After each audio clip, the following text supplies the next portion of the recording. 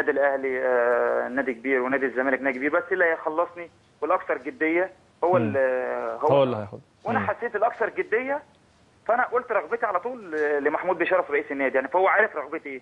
مين الأكثر جدية؟ نعم. مين الأكثر جدية؟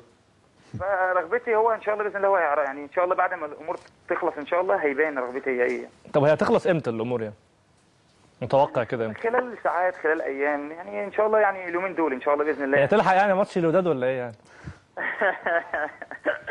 ربنا يسهل كده إن شاء الله بإذن الله. أتمنى والله إن شاء الله. خلاص أنا يعني على بسمع على طول أنت من زمان وأنت بت- بتقول إن رغبتك هي النادي الأهلي. أنا يعني أعتقد أو أنت يمكن مايل مثلا لحاجة زي كده.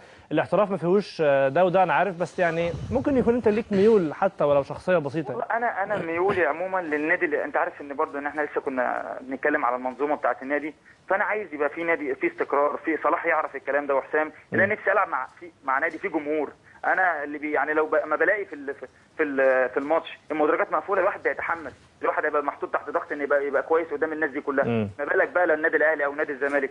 فأعتقد أنا نفسي في نادي بيلعب على بطولة. مستقر.